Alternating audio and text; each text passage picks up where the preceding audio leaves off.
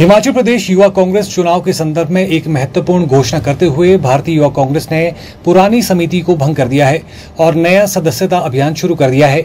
इस घोषणा के संबंध में हिमाचल युवा कांग्रेस के प्रभारी विनीत कंबोज हिमाचल प्रदेश युवा कांग्रेस के चुनाव आयुक्त साजिद तारिक, पीआरओ उदय गुर्जर और हिमाचल प्रदेश युवा कांग्रेस सह प्रभारी योगेश हांडा ने प्रेस वार्ता को संबोधित किया। हिमाचल युवा कांग्रेस के प्रभारी विनीत कंबोज ने चुनाव के विवरण और महत्वपूर्ण तिथियों के विषय में जानकारी दी। उन्होंने बताया कि नामांकन अभियान 5 अगस्त 2024 से शुरू हो जाएगा और ये 14 अगस्त तक जारी रहेगा। उन्होंने कहा कि निष्पक्ष और पारदर्शी चुनाव प्रक्रिया अपनाई जाएगी। उन्होंने कहा कि सभी चुनावी प्रक्रियाओं को निष्पक्षता और पारदर्शिता के साथ संपन्न किया जाएगा, ताकि सभी उम्मीदवारों को समान अवसर मिल सके। जैसा कि आप लोगों के सामने जो हमारे ईसी हैं और पीआरओ हैं, उन्होंने ड्रॉ निकाला है। और उसमें दो ज़िले रिज़र्व आए हैं, शिमला और सोलन। यहाँ पर एससी और एसटी के जिला अध्यक्ष बनेंगे। और उसके साथ साथ पूरे प्रदेश के अंदर यूथ कांग्रेस की मेंबरशिप आज लॉन्च कर दी गई है। तो पहले जैसा कि हमारे ईसी और पीआरओ ने बताया, अभी पाँच तारीख से नॉमिनेशन शुरू होंगे।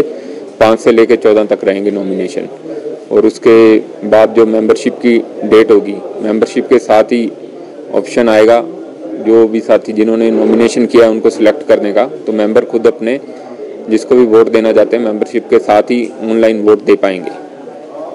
और एक विशेष तौर पर मैं बात बताना चाहता हूँ कि जो परफॉर्मेंस लिस्ट बनाई जाएगी प्रदेश के लिए, जिन लोगों ने पहले अच्छा काम किया है पिछली कमेटी में, उन लोगों को रखा जाएगा और उसके साथ साथ जो लोग आपदा में बारिश के अंदर लोगों की सहायता करेंगे अच्छा काम करेंगे, उनको विशेष तवज्जो दी जाएगी, उन लोगों को परफॉर्मेंस लिस्ट में रखा जाएगा। बिल्कुल चुनाव पूरा पारदर्शिता से होगा, क्योंकि अब ये आई की एक अपनी ऐप है, विद आई ऐप उसके ऊपर पूरा चुनाव होगा और हर चीज़ से ये सिक्योर है और एक एक चीज़ देखी जाएगी और सिर्फ़ वोटर आईडी जिनके पास है, वही साथी मेंबर बन पाएँगे और वही साथी वोट डाल पाएँगे। इसमें टारगेट तो नहीं रखा गया है, पर कोशिश रहेगी कि ज़्यादा से ज़्यादा युवा साथियों को इसके साथ जोड़ा जाए। ये मैं आप लोगों को बताना चाहूँगा, ये जो पूरा प्रोसेस है, ये ढाई से तीन महीने का पूरा प्रोसेस तो इसमें अभी फ़र्स्ट फ़ेज़ में नॉमिनेशन की डेट दी गई है, जो पाँच से चौदह तारीख रहेगी।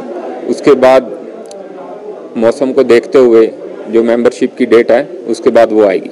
नहीं नॉमिनेशन कोई भी साथी कर सकता है जिसकी एज 18 से 35 साल के बीच में है। कोई भी नॉमिनेशन कर सकता है, पर प्रदेश कमेटी के लिए एक परफॉर्मेंस लिस्ट आएगी जिसका उसमें नाम होगा। वही साथी प्रदेश का इलेक्शन लड़ पाएँगे, पर जिला, विधानसभा ब्लॉक का इलेक्शन हमारा कोई भी साथी लड़ सकता है। जो साथी हमारे एनएसयूआई से पिछली कमेटी में थे और यूथ का इलेक्शन प्रदेश के लिए लड़ना चाहते हैं उनके नाम हमें एन की जो राष्ट्रीय कमेटी है, वहाँ से मिलते हैं।